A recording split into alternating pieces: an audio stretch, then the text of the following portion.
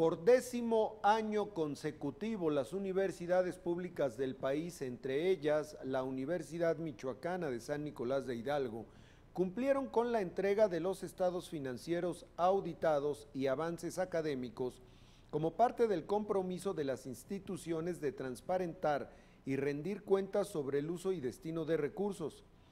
Ante las comisiones de educación y vigilancia de la Auditoría Superior de la Federación, de la sexagésima cuarta legislatura federal,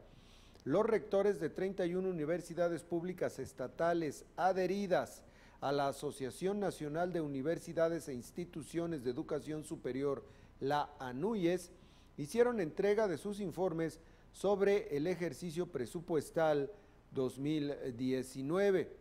Las universidades públicas cumplen con su misión con calidad y con responsabilidad social, por lo que, como ha venido ocurriendo desde hace 10 años, entregan los estados financieros auditados. Esta ceremonia se llevó a cabo en el Palacio Legislativo de San Lázaro. Presentes estuvieron también legisladores federales michoacanos,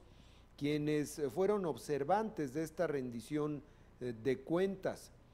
a la entrega de estos estados financieros por parte de la Universidad Michoacana asistió el rector Medardo Serna, acompañado por el tesorero de la Universidad Michoacana, Adolfo Ramos, y por el director de egresos, Rogelio Chávez Martínez.